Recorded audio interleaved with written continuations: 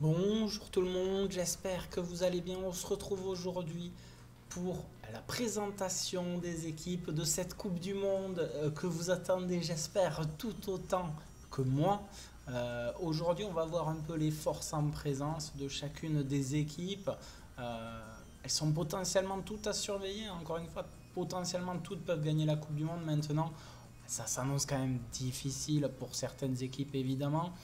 Euh, mais on va voir tout ça ensemble. Il faut savoir que la première journée de la Coupe du Monde va arriver très vite. Je vous montre un peu ce qui nous attend en termes de match.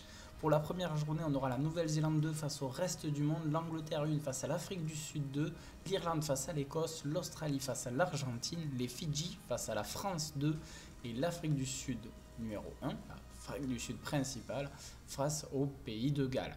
Euh, l'équipe de France numéro 1 euh, ne fera son entrée qu'en journée 2, hein, euh, parce qu'évidemment ben, c'est en chiffre impair, hein, vous l'avez compris, vu que ce sont des poules de 5 équipes.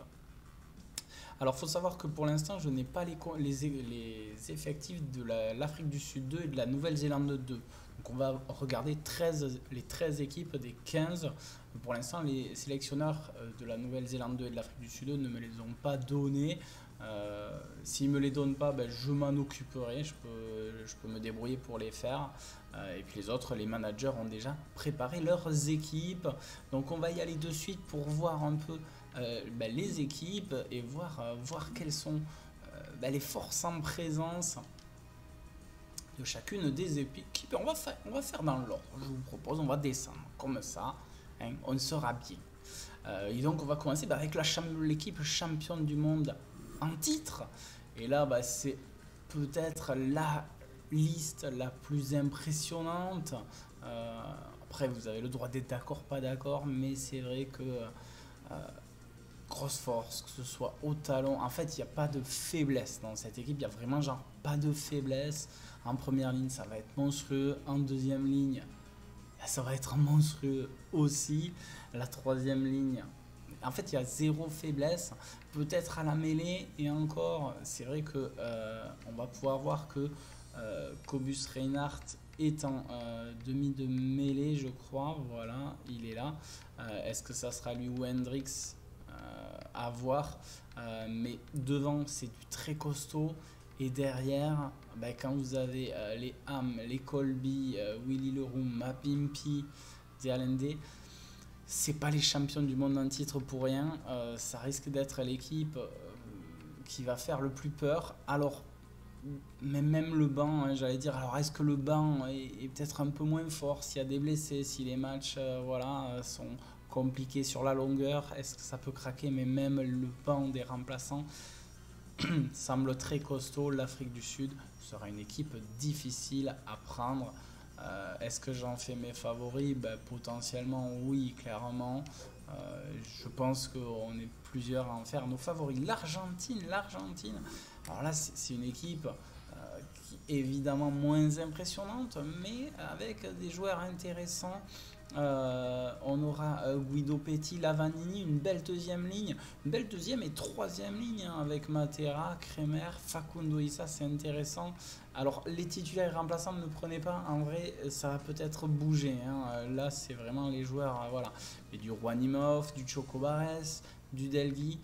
Euh, on voit que c'est des équipes, Juan Cruz Malia, c'est évidemment en notation pure, c'est moins solide que l'Afrique du Sud. Maintenant, on rappelle qu'au niveau des points tactiques, chaque équipe a le même nombre d'attributions. Donc après, si un manager a trouvé la petite, euh, la petite différence pour, euh, pour l'ajustement tactique, être plus fort en attaque, en défense, plutôt dans les rucks, plutôt jouer sur les... Sur les sur le, sur le, jeu arrêté, donc les touches, les mêlées, les, les molles, à voir, euh, à voir qui, qui s'en sortira.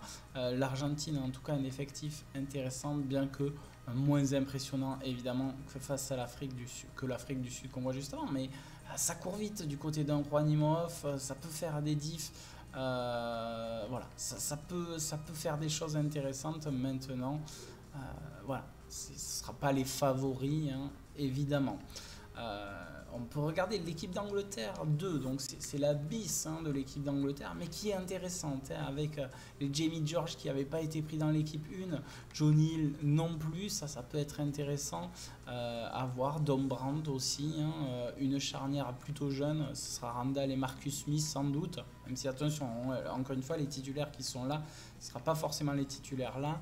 Zach Mercer aussi qui n'a pas été pris euh, avec l'équipe 1, mais avec l'équipe 2, il est là. Il a fait une très très grosse saison avec Montpellier. Les jeunes à Rundel, euh, Radwan, ça peut être super fort avec les expérimentés euh, Jack Noel, Joe Marchand qui commence à avoir aussi de l'expérience. c'est une équipe d'Angleterre 2 qui me plaît pas mal à voir hein, entre Ford, Marcus Smith il y a, y a, vraiment euh, voilà, de quoi faire. C'est peut-être un peu moins fort en deuxième ligne parce que, hormis Johnny Hill, euh, voilà, Charlie Wells, c'est clairement moins fort, je trouve. En première ligne, ça se défend très bien. Euh, ça se défend très très bien. Joe Marler, Kyle Sinclair, Jamie George. c'est là où on va voir que l'équipe d'Angleterre 2 est peut-être semble peut-être plus impressionnante que l'équipe de France 2 dans le sens où on sent qu'il y a peut-être une plus grande profondeur de banc en Angleterre qu'en France. Peut-être que l'équipe de France 1 voilà, je fais jeu égal en notation pure avec l'Angleterre. Peut-être que sur la profondeur de banc, euh, l'Angleterre, on voit à deux équipes anglaises qui semblent être en mesure de tenir la route. Euh, on verra tout ça ensuite. Les Fidjiens, les Fidjiens, les Fidjiens de Dragon. Hein, si vous connaissez euh, ma chaîne depuis un moment, c'est un bon collègue qui, voilà, qui, est d'origine fidjienne, donc qui veut toujours mettre le paquet avec les Fidjiens, les Fidjiens qui auront des forces à faire valoir maintenant. Euh, c'est un peu comme l'Argentine, c'est que il y a de belles individualités. Dans la globalité, ça semble euh, difficile à imaginer cette équipe en mesure d'aller faire quelque chose, mais avec des Peseliato euh, en troisième ligne, Botia, est-ce qu'il sera positionné en troisième ligne? Est-ce qu'il sera positionné au centre? À voir hein, où il sera mis. Hein, euh, voilà, et puis derrière, il y aura vraiment de quoi faire. Voilà, avec Vaisea, avec euh, Tuisova, Radradra, Vainicolo. Euh, il a amené le vieux de la vieille, Nemani Nadolo, Botitou. On verra. C'est sur le papier, c'est pas l'équipe la plus impressionnante, mais c'est une équipe qui a de belles individualités. ce qui fait peur, c'est la première ligne. Comme souvent à l'Efidien, souvent pénalisé en mêlée, etc. Est-ce qu'ils vont avoir du mal? Est-ce qu'ils vont, à cause de ça, perdre pas mal de ballons en touche, en mêlée? Bref, dans le jeu statique, euh, c'est là où les Fidjiens pourraient être vraiment en dessous de leurs adversaires. Euh, la troisième ligne, ça tient la route, bien que peut-être un peu moins puissant, mais encore à voir. Euh, je pense que c'est vraiment la première et la deuxième ligne qui pourraient poser problème, même s'il y a Ratuni Yarawa qui espère faire le taf, mais ça s'annonce compliqué, mais euh, on ne sait jamais. On ne sait jamais pour les Fidjiens. Euh, du côté euh, de l'équipe de France 1, vous voulez voir où se les gars on, regarde la France 2, on regarde la France 1 après. On finira, on finira. On regarde la France 2, on finira par la France 1. L'équipe de France 2, donc il a dû faire avec les joueurs manquants, les joueurs, voilà. On voit que c'est une équipe solide. Il y a quand même un certain Antonio qui est un des top piliers à l'heure actuelle. Euh, Taoufifénois, Romain Taoufifénois aussi, un super deuxième ligne. Euh, on verra une troisième ligne avec Rouma Jelonge, Thomas Lavaux. C'est ok, mais c'est pas énorme évidemment, mais ça peut tenir la route, ça peut euh, résister potentiellement. Euh, une charnière Couillou-Astoy, on, on, rappelle qu'on est sur l'équipe de France 2, hein, la bis, pas la numéro 1, qui va jouer le titre mondial, même si encore une fois cette équipe peut faire peut-être quelque chose d'intéressant avec les Mathis Lebel, Arthur Retière sur les ailes. Euh, peut-être, enfin, encore une fois, c'est des placements, mais Jaminet qui n'a pas été pris dans l'équipe de France 1, eh bien, il sera là, positionné sans doute à l'arrière de l'équipe de France 2 pour faire le taf. Au centre, c'est super intéressant aussi avec Jonathan Dantier et euh, Pierre-Louis Barassi. Ça sera intéressant. On a du Bourgarit aussi, du Louis Carbonel, Arthur Vincent. Euh, il y a de bons joueurs, Nolan Le Garec. C'est la possibilité de faire quelque chose avec euh, pas mal de, jeunes joueurs, un peu comme l'équipe d'Angleterre 2. On voit que c'est beaucoup de jeunes aussi du côté de l'équipe de France 2. Euh, c'est une équipe qui, qui, qui, essaiera de faire quelque chose euh, d'intéressant. Euh, l'équipe de France 2, elle va commencer, elle sera en première journée, ça va arriver très vite son match face aux Fidjiens. on rappelle rappelle que c'est les deux premiers qui se qualifient automatiquement et les deux meilleurs troisièmes sur trois poules pour les quarts de finale. On va voir ce que fait l'Irlande qui est une autre des grosses favorites à cette Coupe du Monde. Et là, c'est un peu très impressionnant comme quand on a vu avec l'Afrique du Sud. Ah, c'est des notes de fou sur tous les joueurs, hein, vraiment, avec Tad Furlong, le meilleur pilier au monde. Souvent, on le, dit souvent. Hein, euh, une deuxième ligne, peut-être euh, Tad Bern et euh, James Ryan les, les troisième lignes, Van der Fleer, euh, voilà, incroyable, avec O'Mahony, le vieux de la vieille, mais qui est, qui est toujours incroyable, Jack Conan, la charnière Gibson, Park Sexton, voilà, la charnière du Leinster, incroyable, euh, Love, and Show, Ringrose. Les, le, les, sélectionneurs de l'équipe d'Irlande pour cette Coupe du Monde ont décidé de prendre encore euh, Keith Earls. Pour moi, il y a deux meilleurs choix, mais bon, ils ne veulent pas lâcher Keith Earls, on verra. Sur le banc, c'est solide aussi. Hein. On voit avec du Chianelli, euh, du euh, Doris. C'est peut-être un peu moins impressionnant euh, que l'équipe d'Afrique du Sud. Je sais pas ce que vous en pensez. C'est peut-être un peu moins impressionnant. il n'en demeure pas moins que ça devrait être un vrai outsider à cette Coupe du Monde, un vrai favori même à cette Coupe du Monde. Je les mets juste en dessous de l'équipe d'Afrique du Sud, mais voilà, voilà une belle équipe qui peut vraiment aller chercher le titre mondial, euh, vraiment. Ensuite, qui on n'a pas vu encore? On n'a pas vu le reste du monde. Alors le reste du monde, vous savez, c'est toutes ces équipes, c'est toutes ces nations hein, euh, qui, euh, qui auraient du mal à, survivre dans, la, dans cette Coupe du Monde. Eh bien, ils se sont réunis. Beaucoup d'Italiens, de Tongiens, de Japonais, bref, vous voyez un peu les nations qui sont là, d'Américains avec euh, la Mossy Télé par exemple. Et c'est vrai que là, bah, c'est de belles individualités. C'est des joueurs dedans qui seront un ton en dessous, qui seront euh, même un peu en dessous des Fidjiens. Oui, encore, ça peut se défendre. Mais voilà, ça sera une voilà, des avants un peu, un peu en dessous à la manière des Fidjiens. Euh, mais ça va se défendre. Par contre, derrière, vraiment, ça aura de superbes joueurs avec Garbici à l'ouverture, par exemple.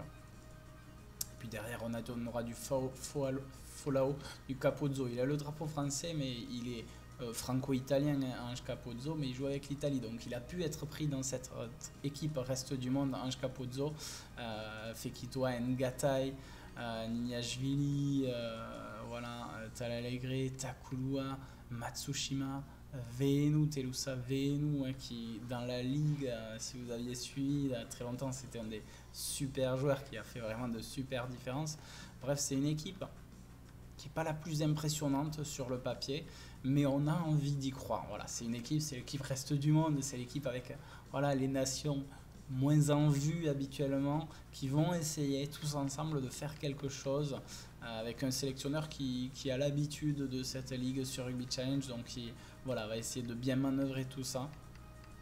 Euh, ça devrait être très intéressant et c'est une équipe que je suivrai avec grand intérêt et que dont je serai un peu supporter parce que c'est clairement pas une favorite, mais qui a de sacrées individualités qui pourraient faire des choses intéressantes.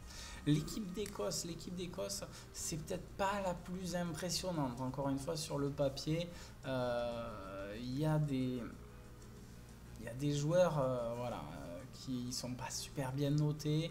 Euh, Fagerson encore, mais Darge, alors moi je connais pas trop, mais c'est vrai qu'il est noté à 69. Moi, quand je connaissais pas les joueurs, j'ai pas voulu renoter, n'étant pas en mesure, voilà, voilà, donc après, je suis prêt à tout entendre et s'il faut remodifier une note d'un joueur qui est aberrante, je suis prêt à le faire. Mais dans tous les cas, l'Écosse a quand même de sacrés joueurs. Une fois, c'est moins impressionnant que l'Afrique du Sud, que l'Irlande. Euh, on est plus du côté un peu comme l'Argentine. Ça, ça fait un peu plus penser à comme l'équipe d'Argentine, mais avec de belles individualités comme les Mitch Watson.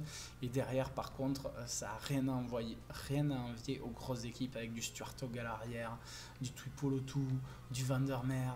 Euh, voilà, c'est derrière, ça peut faire le taf. Par contre, sur le banc, le banc est clairement moins solide. Voilà, le banc aura plus de mal euh, pour survivre ça va être plus compliqué euh, pour l'équipe d'Écosse sur le banc. Mais sur, si les arrières ont des ballons, ont des bons ballons à jouer avec Ali Price, euh, Finn Russell, les Van der Merwe, Johnson, Sam Johnson, Tupulotu, Graham et Stuart Hogg, il y a vraiment de quoi faire de superbes trucs. Ça sera pas facile. Encore une fois, l'Écosse c'est un un outsider comme l'Argentine, comme les Fidji, comme le reste du monde. Euh, mais ils seront là à vendre chèrement leur peau avec une bonne tactique. pourquoi pas embêter les adversaires plus favoris. on passe au Pays de Galles. Le Pays de Galles, c'est un peu comme l'Écosse, hein, c'est moins solide, ça, ça a un peu dégringolé. En plus, j'ai senti, euh, voilà, je ne sais pas si vous le sentez, mais on a senti un Pays de Galles vraiment qui avait gagné un tournoi destination l'an dernier de manière un peu inespérée, un peu chanceux, hein, euh, voilà. Et là, bon, tu sens, voilà. Alors, il y a les Halloween Jones, hein, évidemment, le dantesque Halloween Jones en deuxième ligne. Est-ce que lui va tenir la baraque pour cette Coupe du Monde? À voir, à voir. Euh, on a une troisième ligne qui tient la route, vraiment, qui tient la route, qui y aura peut-être de meilleures équipes, encore une fois, hein, pour, ça, mais ça va. En première ligne, par contre, c'est clairement moins solide. Voilà, il n'y a pas photo, c'est nettement moins solide que euh, les grosses nations. En deuxième ligne, ben, Alun Win Jones, il va falloir qu'il tienne à lui tout seul un peu. Hein. Alors, Adam Bird, il est bon, mais c'est pas un monstre. Voilà. La charnière, ça tient, hein. Gareth Davis, Dan Bigard, c'est bon. Dan Bigard, c'est très très bon même. Donc ça peut le faire. Derrière, par contre, il faut qu'ils aient des ballons. Encore une fois, s'ils sont servis, euh, un Rizamit, c'est un monstre. Voilà. Josh Adams, pareil, un vrai danger. George North, quel joueur, encore une fois, et quelle longévité. Il est toujours là, toujours parmi les meilleurs. C'est incroyable. Nick Tompkins, le, jeune des Saracens, super intéressant. Liam Williams aussi. Le banc des remplaçants, voilà, il y a Alex Cuthbert qui revient, qui revient fort. Hein. donc voilà, ça pourra être intéressant. On a essayé de jouer aussi avec de l'originalité, avec du Gareth Hanscombe euh, d'origine néo-zélandaise de mémoire. C'est intéressant. Il y a des joueurs qui sont pas super bien notés, à voir si, ce qu'ils peuvent faire. Euh, Jonathan Davis, l'expérimenté, hein, qui est encore bien noté. Euh, on a des joueurs intéressants, on a des tueurs comme Rhys Samit, comme Josh Adams, comme Liam Williams. Euh, Dan Bigard va-t-il pouvoir bien manœuvrer euh, ce super demi d'ouverture Peut-être, voilà. Et Alon Wayne Jones va-t-il tenir euh, ses avants Le Pays de Galles, c'est un, un outsider plus plus. Je le mettrai quand même plus outsider que, que, l'Argentine ou l'Écosse ou les Fidji ou le reste du monde.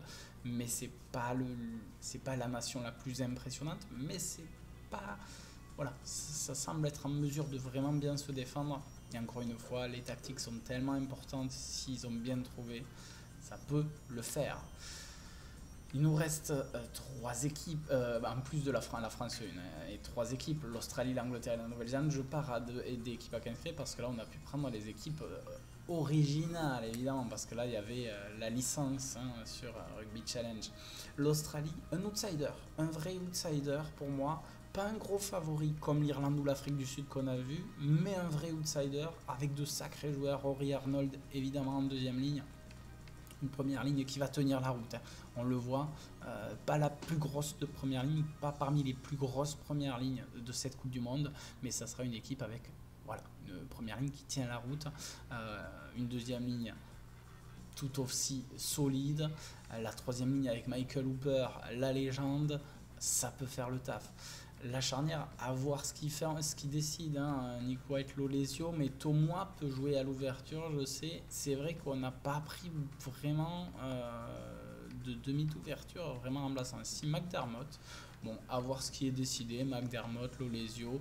Euh, Lolesio fait des bons matchs, hein, cela dit, avec euh, l'Australie. Euh, et puis ils ont ce monstre, Marika Koroibete, peut-il faire les différences monumentales? Il est incroyable ce joueur, hein, et euh, Marika Koroibete, à voir s'il a des bons ballons, ça peut être le danger. Euh, une troisième ligne quand même qui sera intéressante, qui va essayer de, se battre comme ils peuvent. Et en fonction de comment, euh, voilà, comment ils s'en sortent devant, ben, il va falloir trouver Koroibete qui sera le danger côté australien, mais un gros danger australien, voilà, c'est quand même le monstre. Maintenant, est-ce qu'il sera un peu seul derrière? C'est des bons joueurs, c'est des joueurs ok, mais c'est pas des monstres. Quand vous comparez à l'Afrique du Sud, quand tu Colby, euh, Colby Mapimpi, euh, Am, euh, c'est moins fort, c'est moins impressionnant évidemment.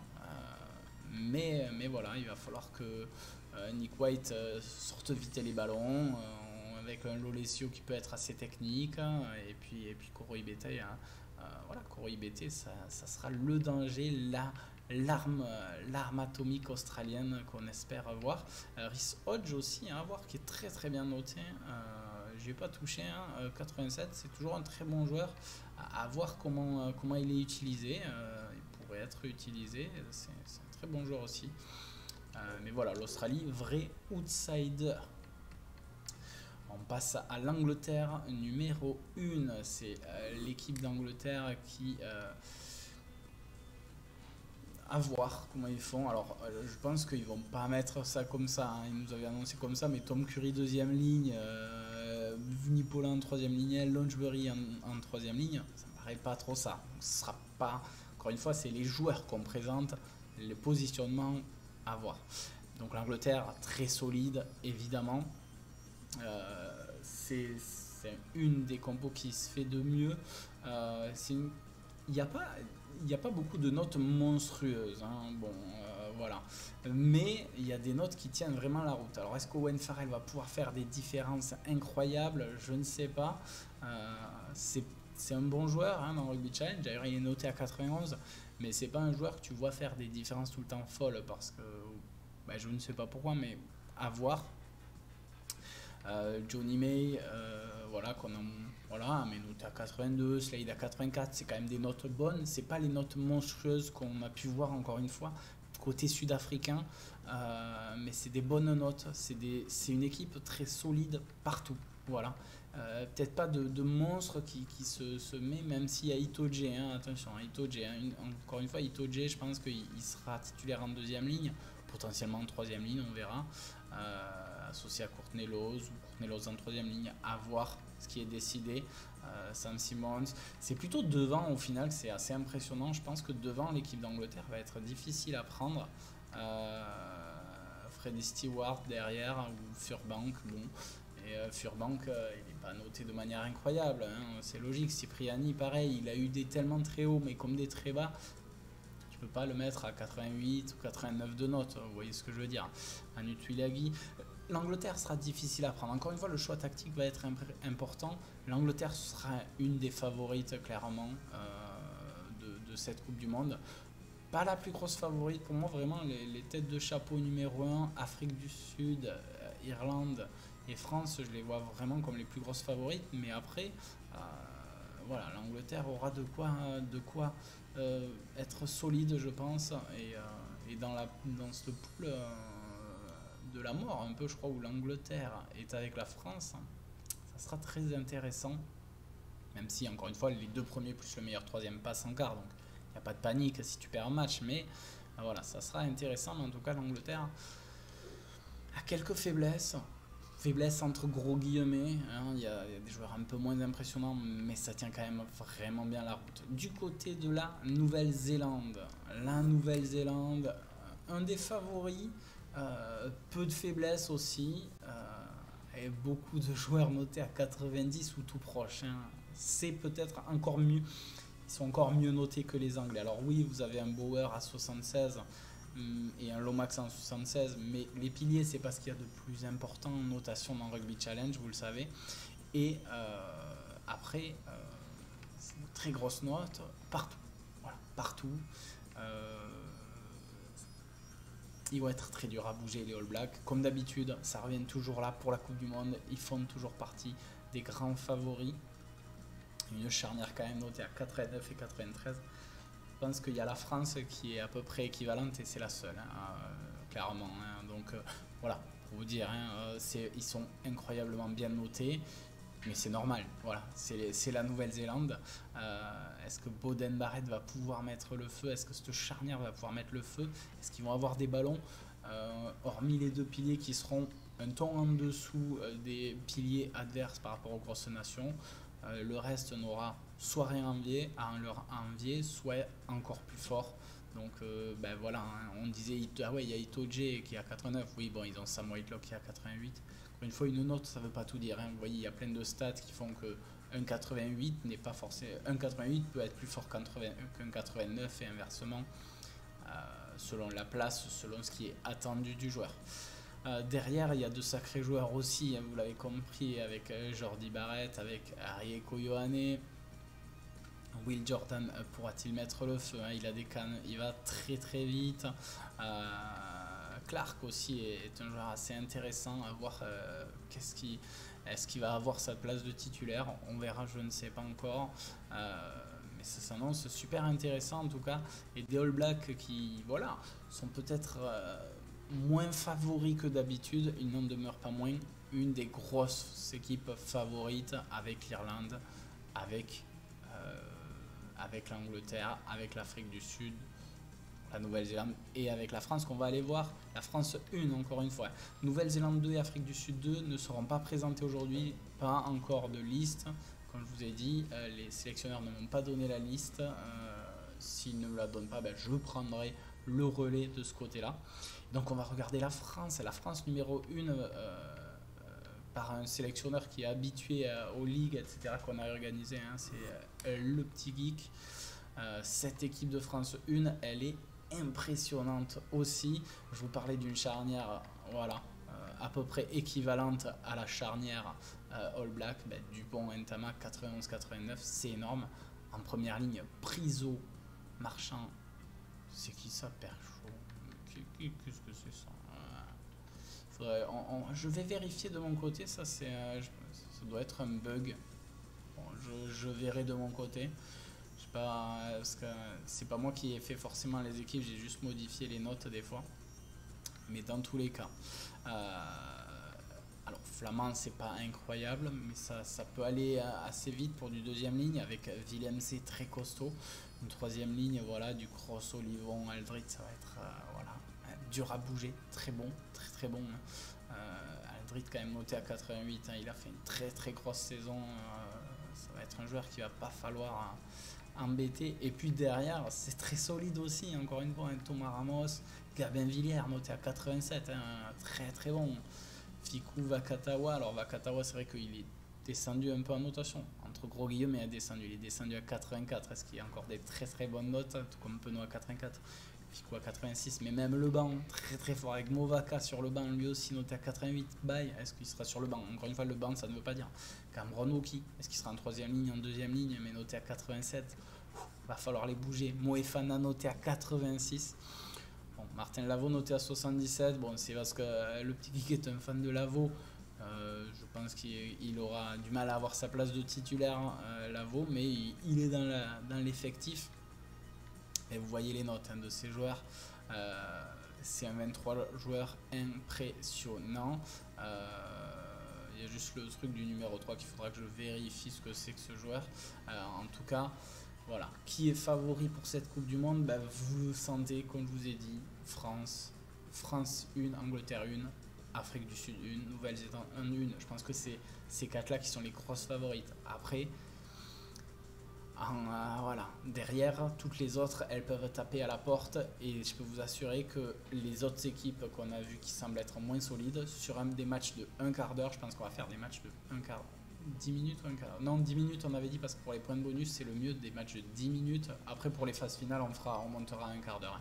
Et pour les matchs de saison régulière, les matchs de poule ça sera 10 minutes. Donc 10 minutes euh, ça risque d'être euh, tendu, mais 10 minutes, deux essais pour avoir le bonus offensif, euh, perdre de 4 points ou moins pour le bonus défensif et deux essais pour le bonus offensif, c'est ça il peut y avoir des équipes comme Fidji, Reste du Monde, qui battent l'équipe de France, on ne sait jamais, ou l'Angleterre, etc. Hein. C'est vraiment. Euh, aucune équipe euh, n'est assurée de gagner. Vraiment, face à n'importe quelle autre équipe. Voilà, en tout cas, j'espère que ça vous a plu. C'était assez long, une demi-heure cette présentation, et encore, on n'a pas pu présenter deux des équipes. Euh, soyez à l'affût, les matchs de cette Coupe du Monde arrivent très bientôt. Merci à vous et à très vite. Bye bye